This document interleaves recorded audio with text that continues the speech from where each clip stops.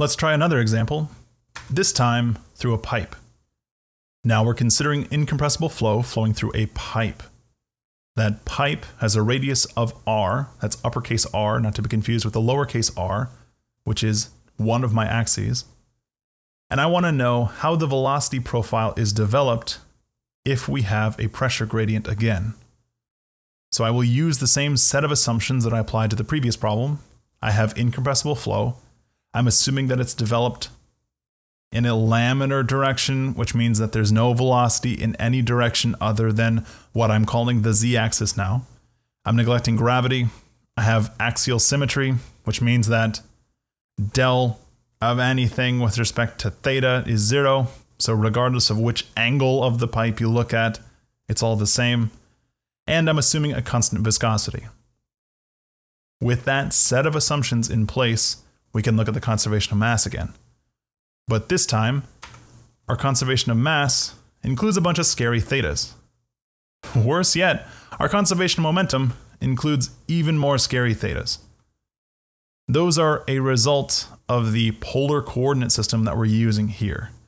And even though it's intimidating looking, it's not actually that bad to work with because, just like in the Cartesian coordinate system, most of these terms are going to cancel. So looking back at our pipe, we'll deploy our conservation of mass, and we'll recognize that for steady state, nothing can change with respect to time, including the density. Also, the density is constant because of incompressibility. I have no velocity in the r direction. I have no velocity in the theta direction. I only have velocity in the z direction. So the only term that's left is del vz, that is the rate of change of the z component of velocity, with respect to z is zero. So just like in the flat plate setup, I'm assuming that the velocity only changes in one direction. It only changes as a function of radius. So I'm saying that my velocity profile only changes as you get further away from the center of the pipe. It doesn't change with respect to z, it doesn't change with respect to theta. Now I can look at my conservation of momentum. For that, I will consider the r direction first. In the r momentum equation, everything disappears except for the pressure gradient driving any flow. So I have no r component of velocity. Therefore, I have no r component of velocity changing with respect to anything else. And that leaves me with del p del r is zero.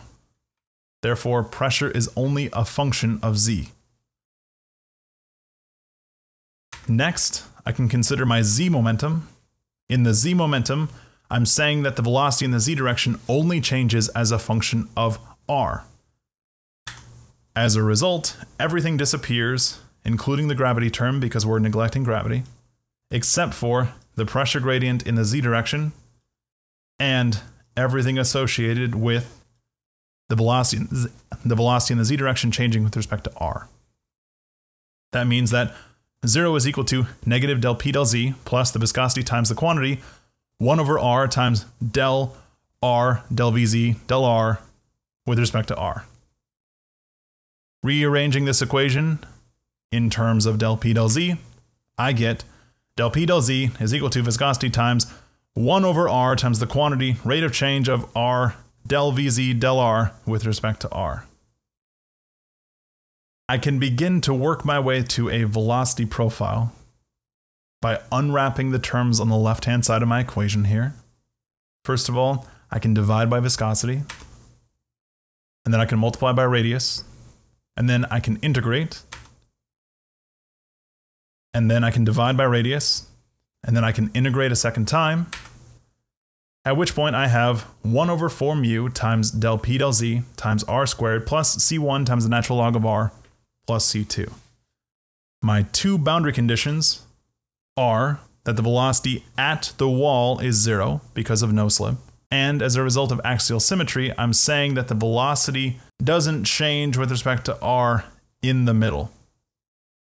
So the velocity profile with respect to r is exactly vertical.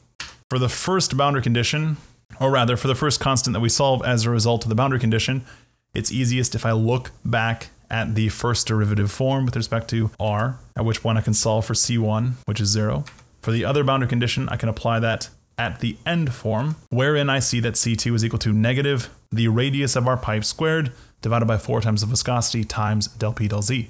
Just like before, it's going to be convenient for me to express this in terms of a maximum velocity, as that is something that we either care about or have most of the time. So I'm going to be determining that at an r position of 0, wherein I see that my maximum velocity in the z direction is 1 over 4 times mu times del p del z times the quantity 0 minus r squared, which means that it's a negative quantity again, negative r squared over 4 mu times del p del z for the same reasons as in the previous example that the velocity is going to be in the opposite direction of a positive pressure gradient. Plugging this back in, I have the velocity in the z direction as a function of r is the maximum velocity times 1 minus little r squared over big R squared, where the maximum velocity is negative radius of the pipe squared divided by 4 times the viscosity times the pressure gradient driving the flow.